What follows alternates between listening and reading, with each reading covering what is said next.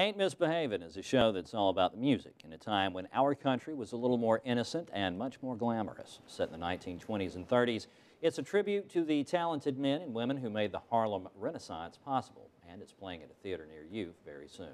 Adam Miller and Erica Evans are here from Theater Tuscaloosa to tell me more about it. Guys, thank you both so much for being with us today. Thanks for the Thanks for having us. Yeah. Absolutely, it is. It is my pleasure. Now, Adam, uh, before we get to Erica, who's in the show, and, and I saw some video of you, and you're fantastic, by Thank the way. Thank you. Uh, just tell us a little bit about uh, the show. Set it up for us. It's a, it's a musical revue, right? It is. Ain't Misbehavin' is a musical revue of Fats Waller's uh, music uh, that he wrote during the 20s and 30s.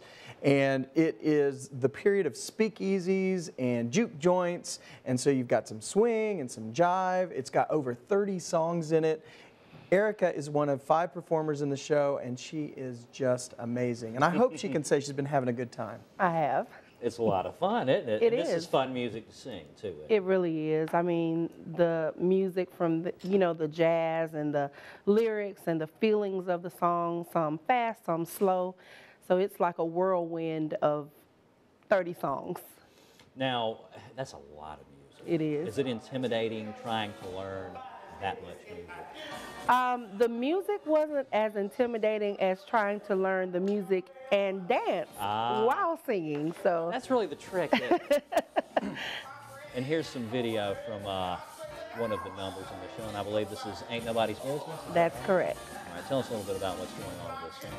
Um, well, the lead singer is Mr. Will Travis, and um, he's basically celebrating the fact that he has freedom and he's going to do whatever he wants to do, and it's nobody's business. If he wants to spend all his rent money, if he wants to drink all night, he's just celebrating the fact that he is independent and he can do what he wants to do.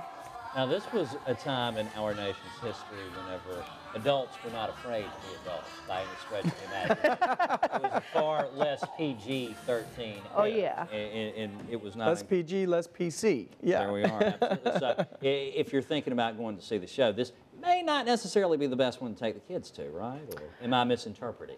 There are a couple of uh, suggestive uh, moves and a couple of songs that the material is about, you know, things that I wouldn't necessarily um, say that would be kid friendly. However, I think that the rest of the show would outweigh those few moments. So I would just say just use your best judgment, but I think they'll still have fun regardless. I think I saw a little fanny smacking going on in that video. But you'll You that did, you at football did. games, too, so. yeah, you're not going to see anything on stage that you wouldn't see on primetime television or hear Exactly. anything.